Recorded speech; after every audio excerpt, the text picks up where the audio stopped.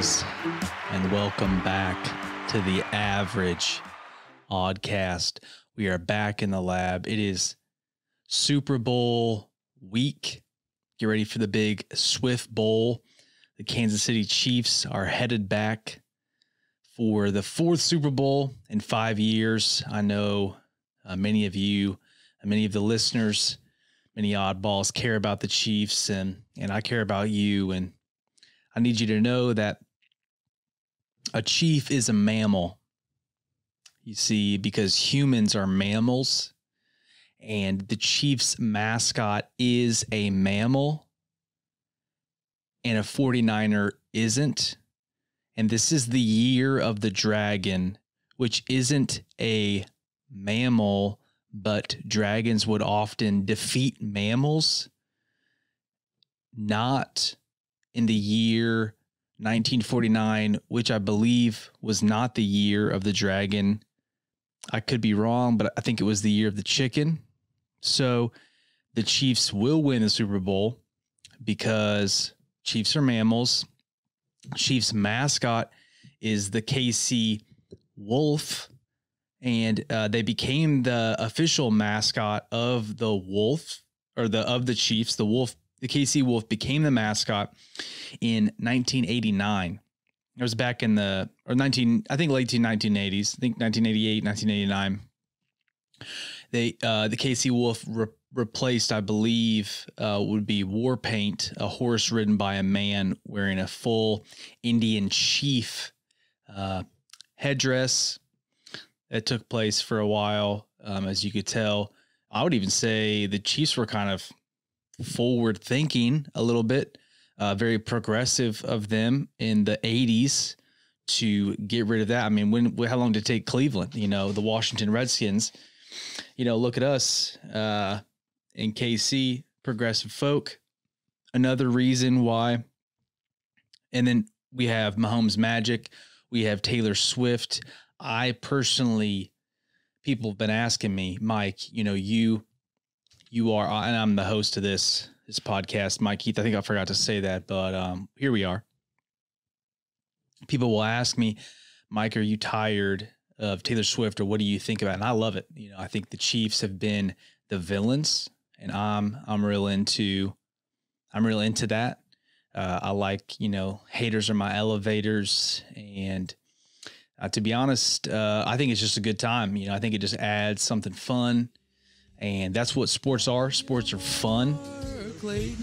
And the Chiefs are the mammals. This is the week of the mammals. With comedy in a van down by the river in our oddly funny world.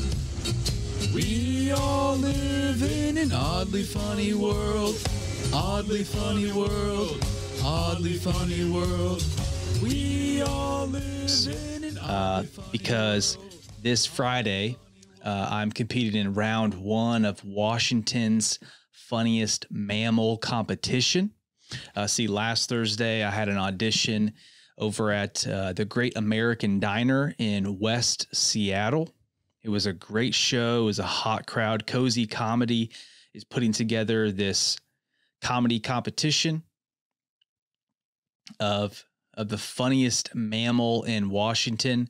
Uh, there are 50 comics in the competition.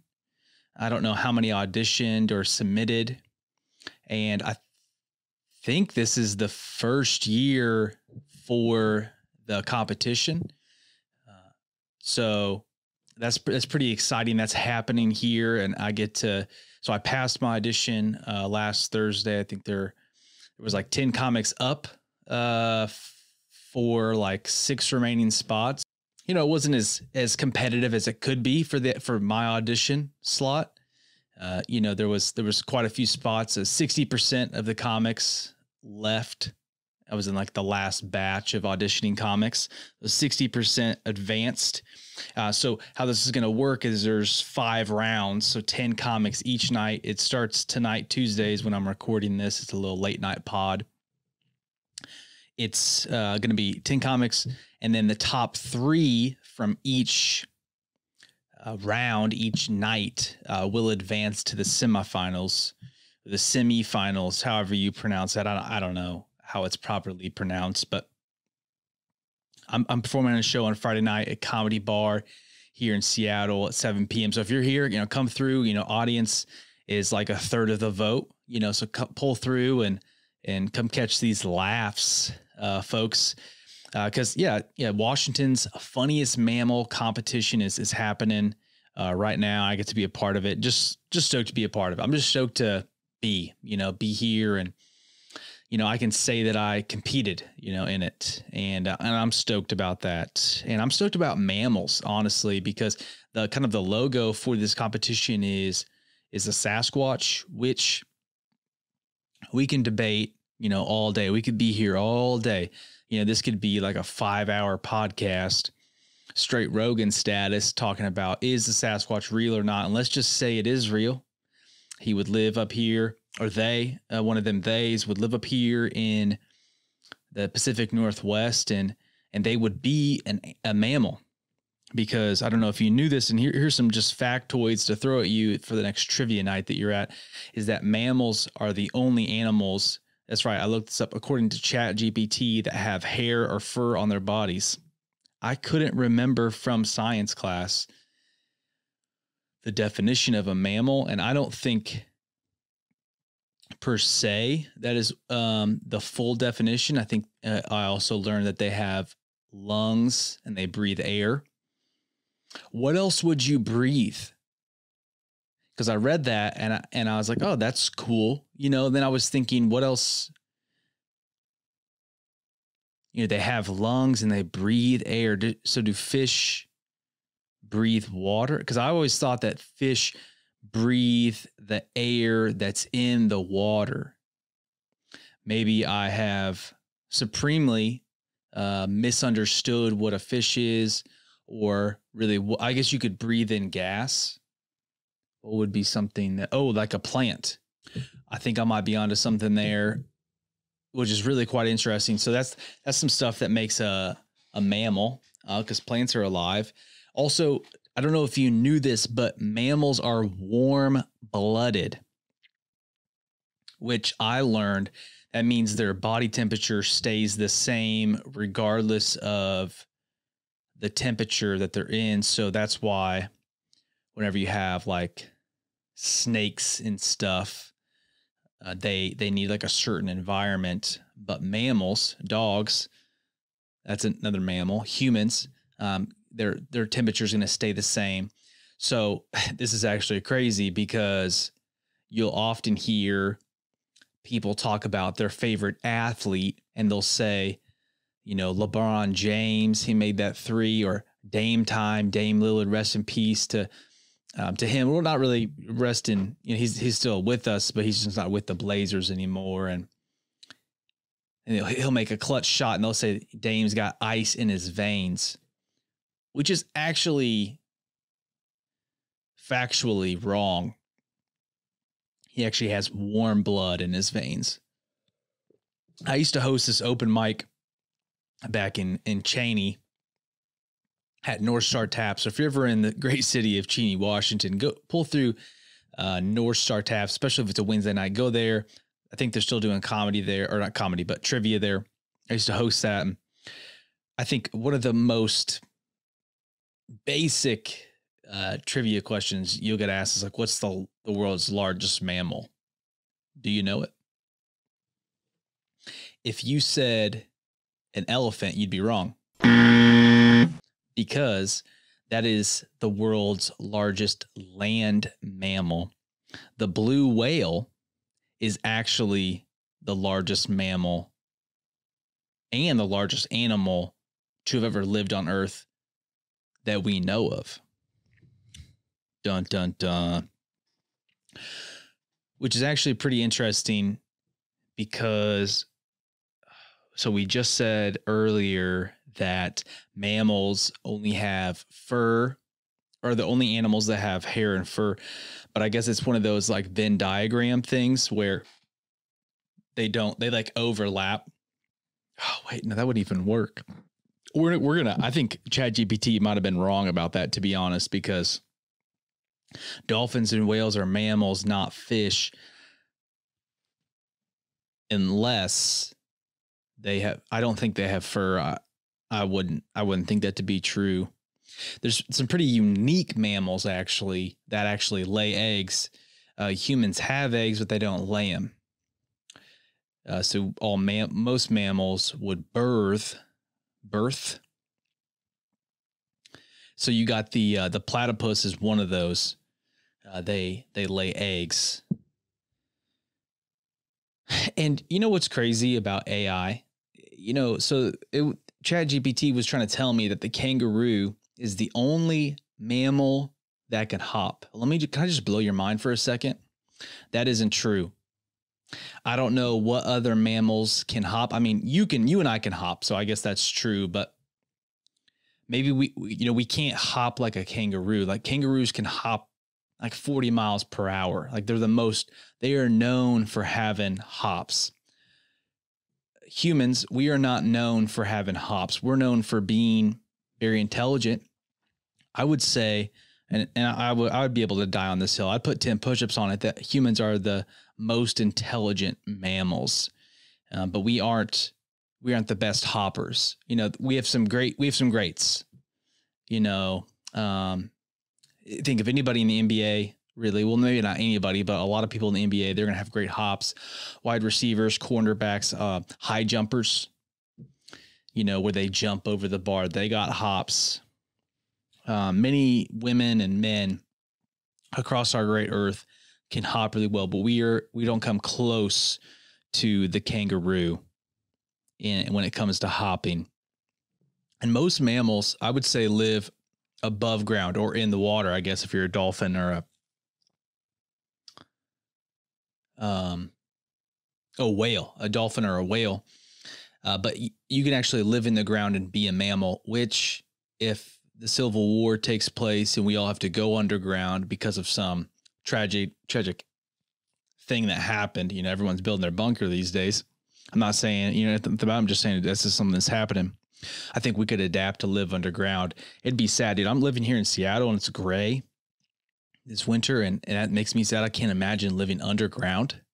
We would really be having to take those vitamin D supplements, but I guess we could do it. Uh, well, I actually don't even know that's true, uh, but it's something that we we could do. And you know, uh, dogs and cats can smell really good. They're also mammals, which got me thinking like, what's like the who's got the best sniffer? You know, because some people lost their sniffer during COVID. I hope you guys are having fun you know, because I just I just hope that. And you know, if you don't smell what I'm stepping in, uh, that's probably because maybe there's like some wind that's like blowing because here so some people actually can have a diminished sense of smell so if like the wind is blowing the wrong way there's bad air quality um, all of these things can affect you know if you had covid uh, the the average uh, human sense of smell can detect certain odors within a range of several miles. But that's crazy. You could smell a skunk from more than a mile away. Wow. You know, that's you can't smell everything a mile away, but just think about I don't know, I guess I just never thought that we could anybody really. I, mean, I guess if the you know, just like if you hold all things constant there's no interference in ideal conditions, we could smell a skunk a mile away. I think the most impressive thing that I learned about mammals that I really want to this is now an education podcast. We're just educating. Last week we got to talk about the history of biscuits. This week we're talking about mammals, folks. Did you know uh, it is it is thought among uh, some of the most intelligent humans that the least intelligent mammals are the Tasmanian devils, which is crazy because if you're watching the video version of this, if not, check the the album, uh, the artwork for this show. I have a Chiefs hat that has Tasmanian, the Tasmanian devil, Taz, the uh, the cartoon character. And isn't that crazy? Like the connection that has taken place this week about mammals, furthering, I think, that we may not be the smartest team, but we are the best team in the NFL. Look at this. This is, I think this is crazy.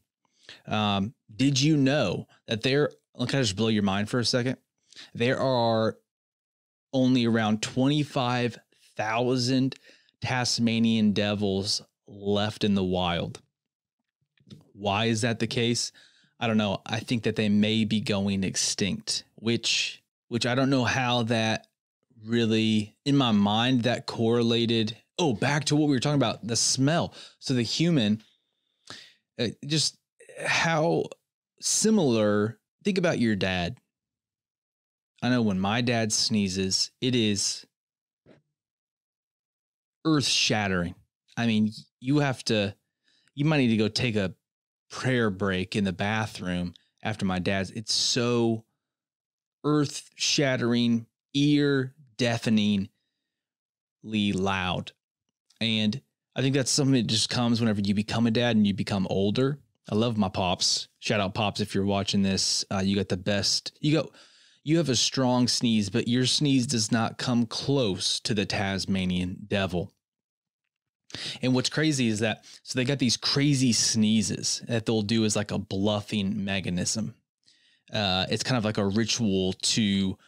It's like if you're like there's two males, and maybe they're, they're trying to get into a fight, or maybe they're not trying to get into a fight. They're actually trying to like one of them, maybe one of them's trying to get a, into a fight, and the other one's like, "Gosh, Charlie, it's Tuesday afternoon. Like, let's just go to the watering hole together." They will sneeze to get someone to back down, which I think is crazy. And did you know that baby mother devils, which is a weird thing to say, by the way, will give birth to baby devils, which are called imps, which sounds pretty derogatory, which is maybe, I'm not saying that's why we think that they are the least intelligent of one of the two least intelligent mammals. I actually, what's funny is that I looked this up a little bit, I did some research about this, and I found that that at the Tasmanian devils was one of the two least intelligent mammals, but I actually never never learned why that they are. I don't know what it is about them. They can sneeze like nobody's business.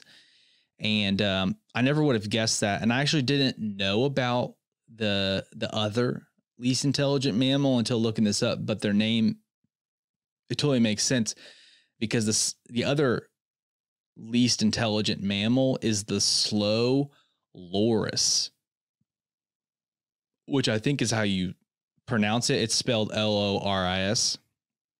I think this this show is really kind of like I think this is something that you can listen to while you're going uh, taking your dog on a walk.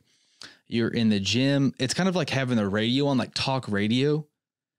You know, and today we're talking about mammals. I'm not sure of what this is going to be forever, but I've got a bunch of bananas left over and they're going bad. So the slow loris is this is crazy. It's one of the least intelligent, but it's also one of the few mammals that's venomous. And th- this is really this is really I, I'm just educating the masses here. Um, you're welcome.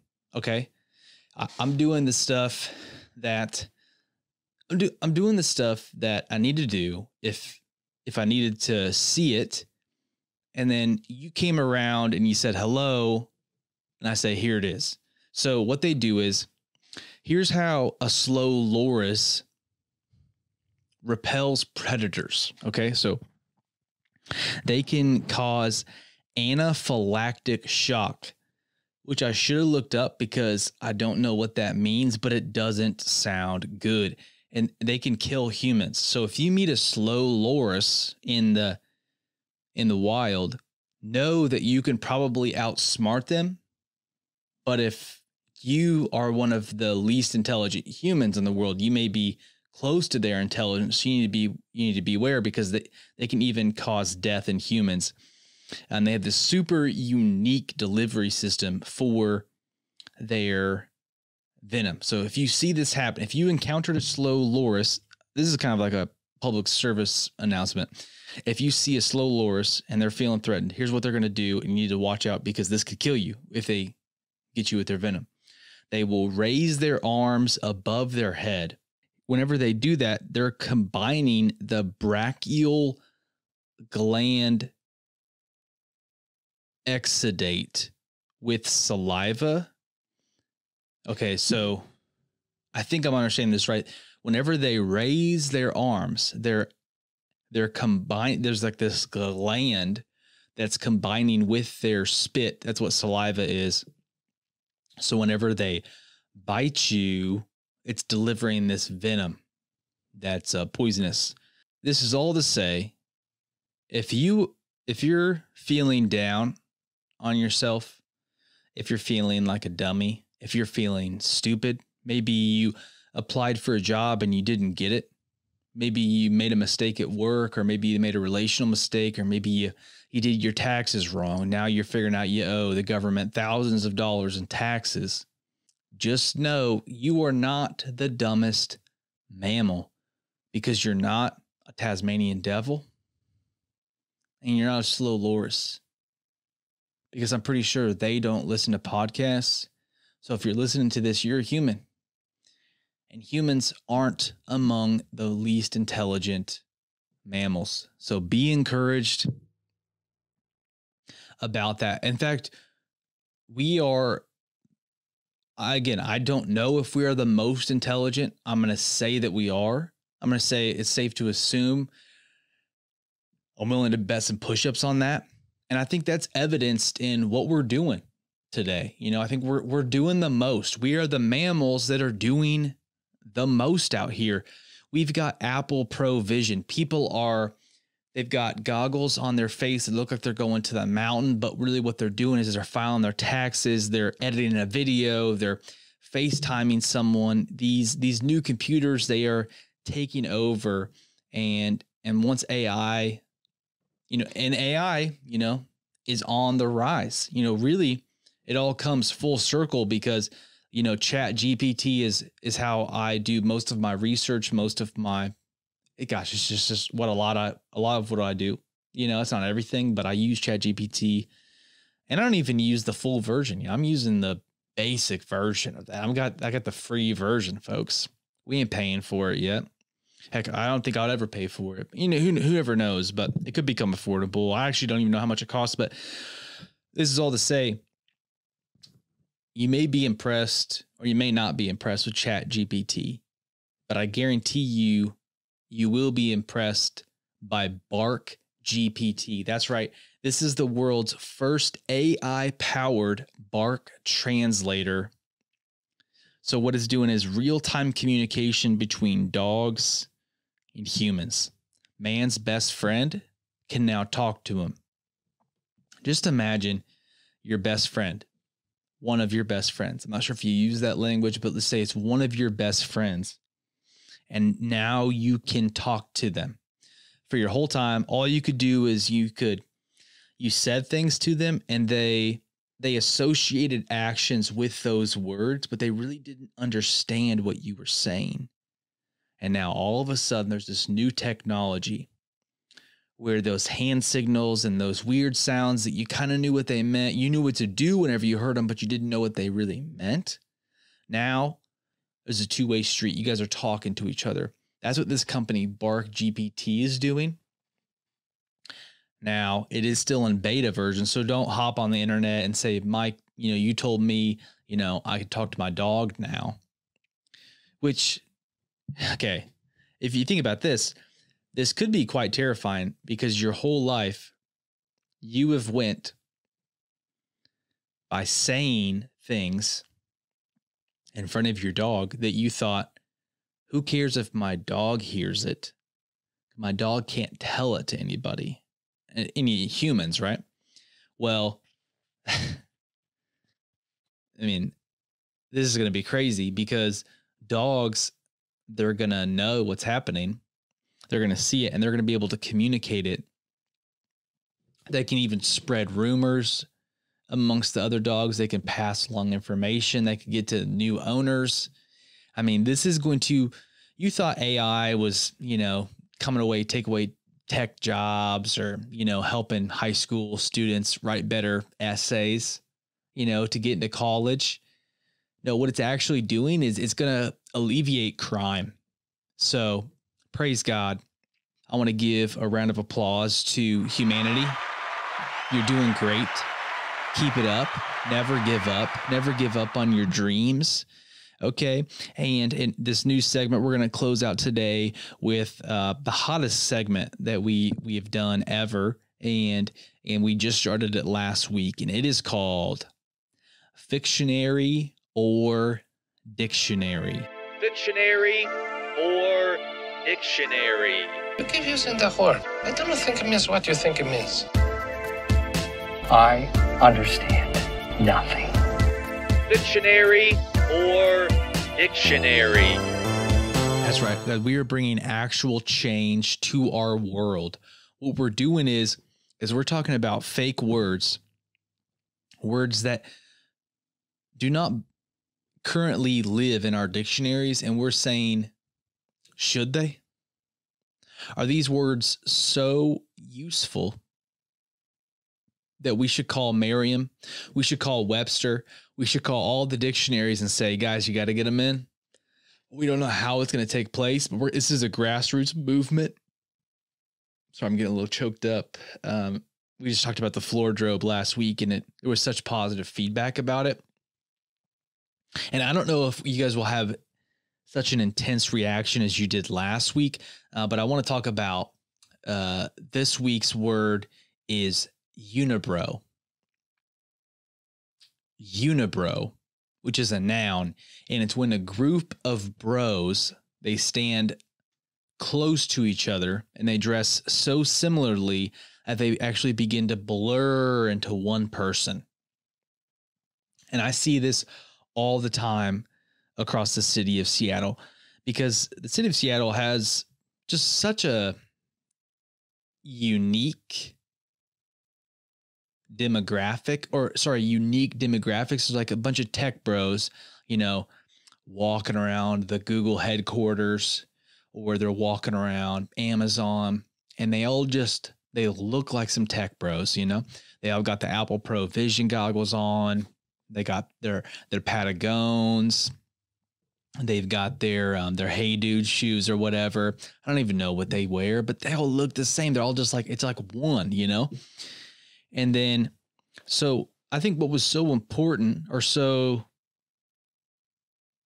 I think what we talked about last week that was so helpful was, is really the time that we could save by adopting the word floor drobe is that it really it reduces the amount of words that we have to say in a sentence to communicate our ideas so i'm trying to think man even how you would uh this is really you know this was a, a suggestion you know to talk about Unibro and and I, I, you know, at first glance, I'm thinking, that sounds pretty cool. You know, I just don't know if I would use it that often.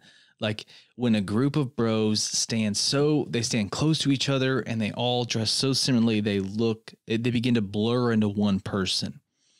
You know, and it see floor drobe. Go back and listen to last week's episode, riveting stuff. Uh, but I think where that really stood out. A unibro doesn't, because I'm just thinking, oh, you know, like Amazon, you know, that group of that's like a unit. Look at that unibro over there. I guess you could say, oh, yeah, actually, that's a pretty good use. As a, you could see a bunch of a bunch of bros. Maybe, man, gosh, uh, you go into any frat house in America and you know you go to Sig Chi and and you see a bunch of guys and they got uh you know those bright colored polos on those comfort colors and they they also got hey dudes on and uh, or maybe they're shirtless in their front yard playing beer die you know no no no shade I'm throwing I'm just saying you know like you know Sig Sig Chi is uh, a unit I'm terrible at forming sentences tonight. I I don't know if is I, I actually don't know if if I'm just feeling a little dumb tonight. you know, or if I just can't even form a sentence. But I guess what I'm saying is, you know, I'd love to know your thoughts on this, but I, I don't think unibrow is actually going to make it into the dictionary. I think it should stay in the fictionary. Just keep it as slang. You know, if, if you disagree, you know, I'd love to hear your thoughts. Leave us a voicemail. Uh, and you can call in, you drop a comment on on this week's episode. I would love to hear your thoughts about unibrow. Maybe change my mind. I think right now where I stand is that it shouldn't go in the dictionary. Uh, but thank you so much to listening to for listening to this week's episode of the Average Oddcast. As always, my friends, uh, it's so good to be with you, and I just want to encourage you. You know, uh, the Chiefs will win, and uh, that's just uh, what's going to happen. That's my that's my prediction. We will win by three. It will come down to a you know the Chiefs had the ball last. Patty's got some time. They advance the ball down. Travis Kelce catches a ball to put the Chiefs in field goal range. We kick a field goal to win as time expires. And then Travis Kelce proposes Taylor Swift. That's my prediction for the Super Bowl. I love you all. Thank you so much for listening and supporting us. Uh, join the Patreon, become a founding mother or father by, by becoming one of the first 10 people to join the Patreon. Uh, we will give you a weekly shout out for the, the tenure of this podcast, as long as you want it, by just signing up to being the first 10 to sign up and, and really building something that will, that will outlive us all and I think that's that's something that's really important to many people leaving a legacy. You know, leave a legacy of laughter. And as always, my friends, stay funny and stay weird. Peace. We all live in an oddly funny world. Oddly funny world. Oddly funny world. We all live in an oddly funny world.